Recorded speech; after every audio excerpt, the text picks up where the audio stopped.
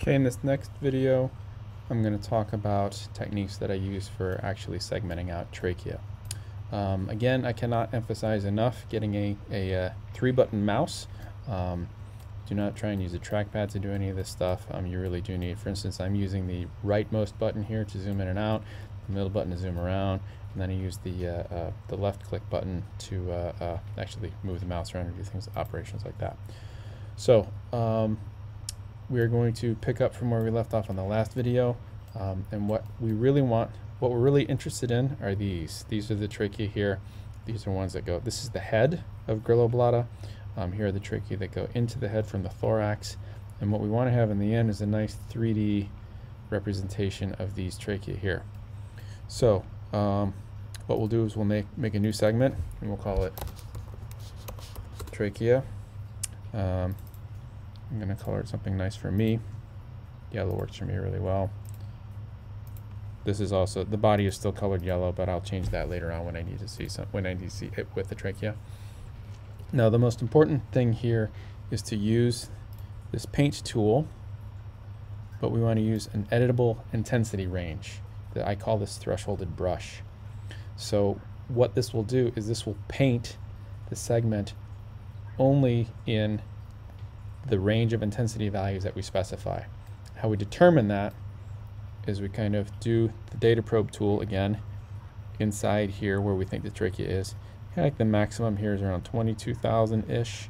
So we want zero.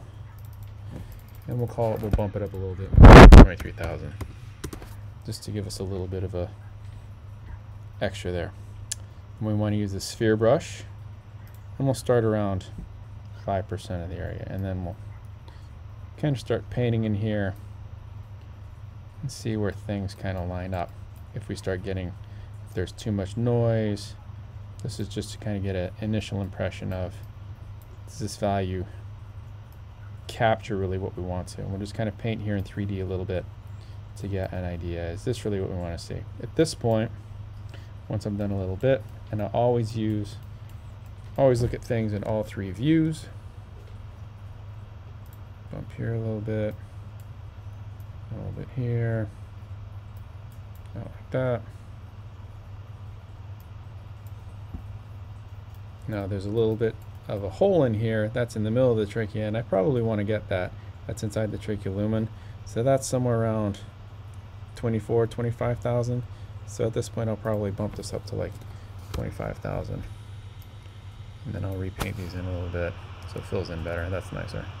And paint this here so it fills in a little better. And so on. And that's good enough. Here and here. Now at this point, I will take a look in 3D. I generally don't have 3D turned on all the time because it is CPU intensive. Uh, if you have a really fast CPU or really fast graphics card, um, you can leave it turned on all the time depending on the complexity of your model. So again, once you do this, uh, if, if you turn on 3D and things don't show up, this will recenter your view. So things will pop into view and you can zoom in and out using click and drag on the right mouse button, translate using the middle, and then rotate using the left one. So things are starting to form here kind of nicely. I like that so far. Um, and then what we can do is a use a little bit of knowledge that we have about insect anatomy to know that the head has no spiracles. So what we will do, spiracles are useful for assessing homology, um, but the problem is we want to differentiate inside air from outside air, and the spiracle is a hole that goes from the inside to the outside. So when you paint across that, um, you're getting inside air and outside air, and it's hard to remove the outside air. I will show you why that's the case in just a second. So what we'll do is we'll paint here just the head and this will give us both inside air and outside air, which is interesting to look at like that, but not what we want. So the next thing I'll do to easily get rid of this outside air, we'll do island removal. So I want to remove the selected island, which is the stuff on the outside. And there we go. That is the trachea of the head. There's a little bit of extra there.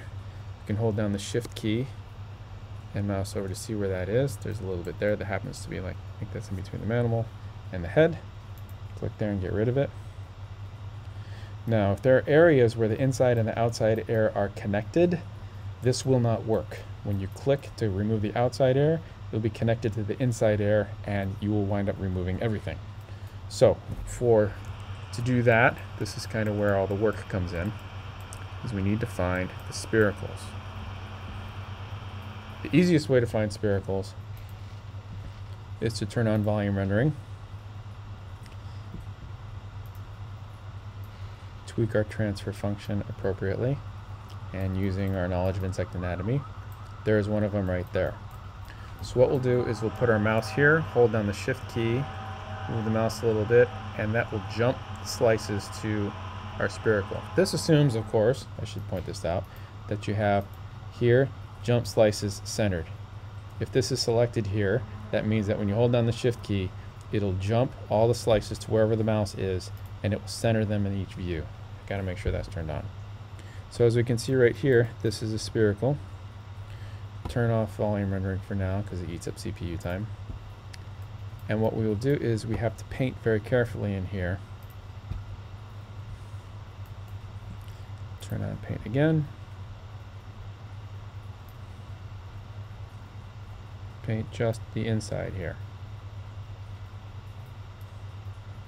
Now we can see that there's probably a little bit outside there. This is kind of where the spiracle is. So this bit here is actually on the outside. If we scroll through, uh, maybe it's not, I take it back. That actually might be real trachea. But just for the sake of argument, let's paint a little bit on the outside here. So you can see that this kind of glob here is on the outside and all this other stuff is on the inside.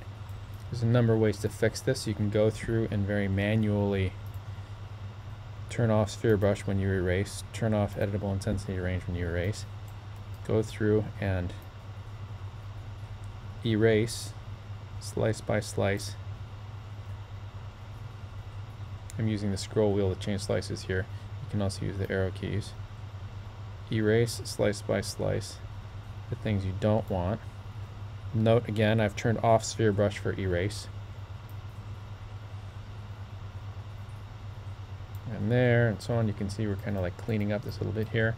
Sometimes if you clean up enough, you can go through, if you remember from the last video, you can use this scissors tool to remove stuff. Again, you got to be careful to not remove things that you want to keep. Like that. kind of like that. That's kind of the beginning of it. go through and finish cleaning up the rest of it. But uh, as you can see, this is a fairly time-consuming process. Um, in general, um, a reasonably complex scan. Um, I've been doing this for some years now, and a reasonably complex scan uh, will probably take me between one and two weeks to do the entire trachea of it. Um, certain things I've learned over the years, I've been able to speed it up that I've kind of included in this video. Island removal is one, a thresholder brush is one, um, using the scissors is another one. Um, but, but again, anything that I'm doing here, um, this is how I do it. Um, this is not necessarily the only way. Um, and it's it's it's absolutely not the only way, and it's probably not the best way. So uh, I would love any comments or suggestions anyone has for better ways to do this, or ways to speed it up, or you know, tell me I'm completely wrong and I've wasted half my life doing this. Um, so anyway, this is kind of what I used to do all the tracheal architecture for the insects that were used in the bulletin publication that I showed in the first video. So hopefully this will get you started uh, for anyone who's interested in doing this kind of work. Um, if you have any questions, please don't hesitate to leave them in the comments. Um, I'll try to get to them as quickly as I can, um, or you can contact me in any other way through the museum or anything like that. So if you've watched this far, thanks very much for your time, and I hope this was useful to you. Um, and uh, best of luck.